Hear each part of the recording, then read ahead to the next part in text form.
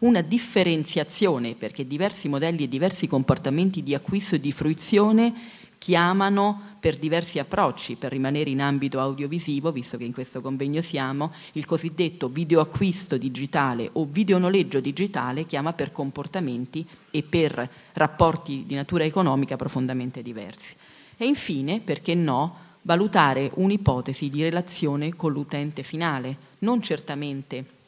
in antagonismo o in contrasto con quelli che sono gli operatori del settore, ma tutti i soggetti che rappresentano gli interessi dei produttori dei contenuti e degli ideatori di contenuti hanno anche un'opportunità, come è stato fatto in altri paesi, di potersi relazionare direttamente con l'utente finale. Questo perché se vogliamo parlare di propositività,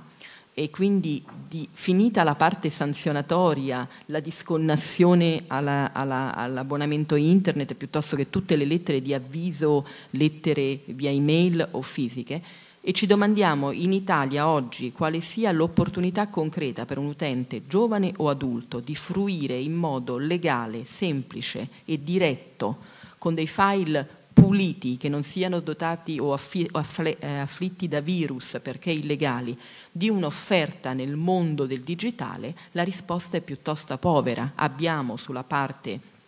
audio un'offerta su internet e sui telefonini attraverso un grande, grandissimo operatore multinazionale che di fatto è monopolista, sulla parte video, siano essi film che opere anche televisive, fondamentalmente non c'è offerta strutturata e quindi anche coloro che volessero fruire di un contenuto modali- con modalità legale hanno grandissima difficoltà ad accedere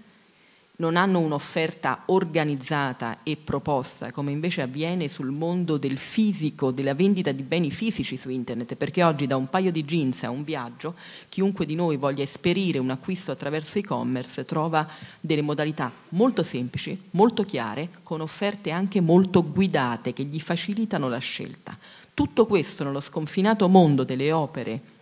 intellettuali non è strutturato. Allora esiste un'opportunità per questo Paese e forse un po' presuntuosamente anche per un modello europeo che finita o in parallelo la parte sanzionatoria, finita o in parallelo la parte formativa di educazione e di educazione civica e, e, e civile che è certamente importante per le giovani giovanissime e non più giovani generazioni, esiste un'opportunità che in questo caso è anche un'opportunità di mercato, quindi non economicistica,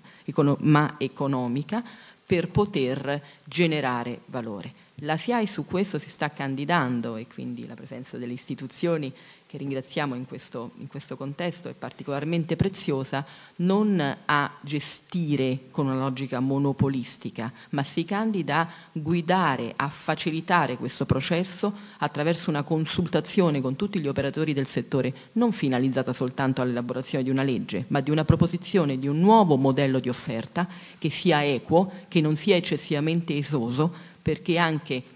i giovani che vengono intervistati nelle tante ricerche quantitative e qualitative di mercato rispondono sì, ho capito che è illegale, sarei anche disposto a fruirne legalmente ma che non costi troppo. Oggi oggettivamente il tipo di offerta che viene veicolata in Italia è piuttosto parziale, assolutamente complessa e oggettivamente anche un po' esosa l'offerta legale. Quindi abbiamo una grande opportunità in mercato, la vogliamo guardare con ottimismo, la SIAE vorrebbe insieme a tutti gli operatori che finora hanno creato questa catena del valore,